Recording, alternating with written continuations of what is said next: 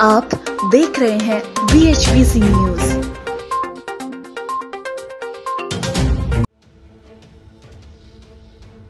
Mitro app एक बार फिर गूगल प्ले स्टोर पर वापस आ गया है। अब आप गूगल प्ले स्टोर पर जाकर इस ऐप को डाउनलोड कर सकते हैं। वर्तमान में इस ऐप को तीन दशमलव नौ स्टार रेटिंग के साथ 30 लाख रिव्यू मिले हैं। ऐप ने अपने प्रमोटर वेबसाइट को भी अपडेट किया है। मिंत्रो की प्राइवेसी पॉलिसी को भी अपडेट कर दिया गया है। और अब इसमें जीडीपीआर डेटा प्रोटेक्शन राइट्स पर एक नया पेज जोड़ा गया है। गौरतलब है कि इस ऐप को टिकटॉक के भारतीय संस्करण के रूप में पेश किया जा रहा है। एक महीने से कम की अवधि में यह ऐप 50 लाख बार डाउनलोड हुआ है। इस ऐप को भारत में हाल ही में आई चीनी विरोधी भावनाओं के उफान का फ़ायदा मिला था।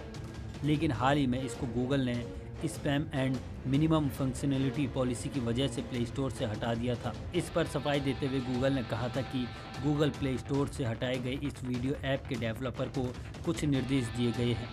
एक बार तकनीकी मामले सुलझ जाने पर यह वीडियो ऐप फिर से गूगल प्ले पर वापसी कर सकता है।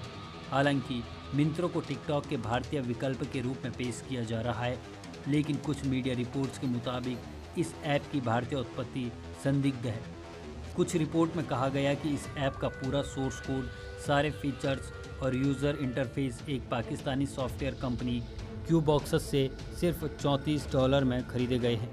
गौरतलब है कि भारत में एंटी चाइना सेंटिमेंट बन रहा है, यानी कि चीन विरोधी भावनाओं के उफान का फ़ायदा मिल रहा है। और इसी क्रम में चीनी ऐप्स और प्रोडक्ट्स के रिप्लेसमेंट पर लोग ध्यान दे रहे हैं। मित्रो, ऐप नया तो नहीं है, लेकिन दावा किया गया है कि ये भारत का है। लेकिन इस दावे में कितनी सच्चाई है, यह कह पाना मुश्किल है। आप देख रहे हैं बी न्यूज़